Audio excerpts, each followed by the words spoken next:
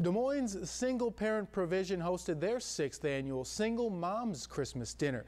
The event is for single mothers and is helped paid for by local businesses.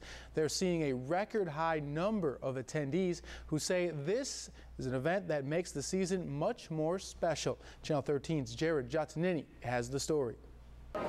More than 500 single moms and nearly 700 children participated in Single Parent Provision's annual free Single Moms Christmas Dinner. It's just a time of joy. It's a time of meeting new people. It's a time to just relax and to be pampered and to have fun.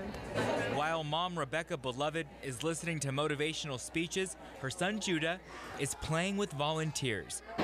But it's not just about being pampered. This dinner is a support network for single moms. Coming to events like this reminds you that you're not alone and there is a support system. There are people who are going through the same exact experience as you are and, and it's just refreshing and reassuring.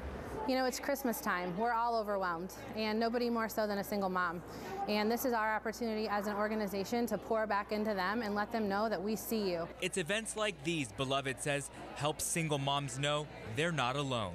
Reach out because it's hard. If you're going through a separation or a divorce, um, it's easy to stay secluded or to feel like you don't have somebody to talk to.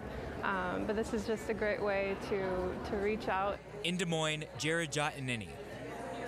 Now, this dinner started back in 2011 with just 40 moms. Single Parents Provision does events too for the dads. Both are invited to the Family Gift Market next weekend. For more information, head to WHOTV.com. Yeah, sometimes this time in the holiday season, all of that can really uh, bear down on you as a single parent, and it's great Right. that they can have that support system, someone there that has gone through those experiences and can, you know, tell them, you know, there's light at the end of the tunnel. That yeah, that is awesome Yeah. and great way for them to kind of meet and mingle with each That's other right. and uh, learn from each other Yeah. as well.